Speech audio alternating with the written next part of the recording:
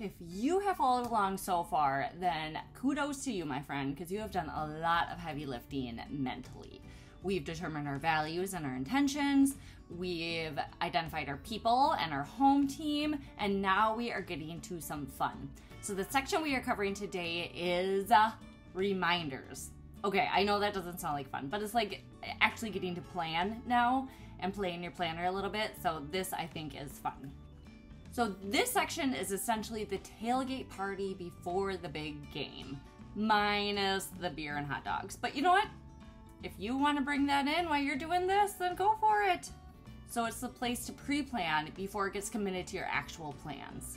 Like the dugout before you're called to play. Should I keep going with the analogies?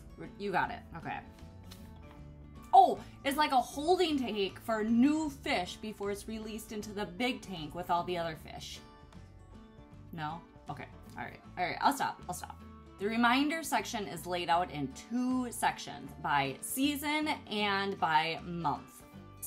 Here are some ideas to utilize this section planning out projects, seasonal chores, goal setting, reminders of openings or openers like fishing, hunting opener, or when the state parks open for camping reservations. If you have kids, like when camps open, they open for registrations and they fill up in like three seconds, you know, so those are good to know. Yearly subscription renewals that always sneak up on you. A wish or idea list. So for seasonal, you could do something like in the winter seasonal. You could have a list of things that you want to do, like go sledding, build an ice rink in your backyard, drink hot cocoa, build a snowman. You could have focus themes for the month, like January could be declutter. There's a whole bunch of ideas that you can use with this. You are all creative people, and I know that you can figure it out. Personally, I'll be using mine to plan out projects and then to note those registration openers because my kids need to be in camp this summer. Mama needs a break. So just like with people, there will be a monthly reminder for you to uh, check your reminder list reminder, reminder to check the reminder list, and then be able to plan it into your month and your weeks and your days from there.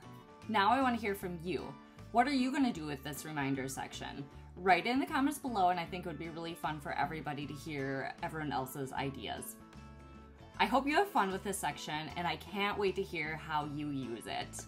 Happy planning!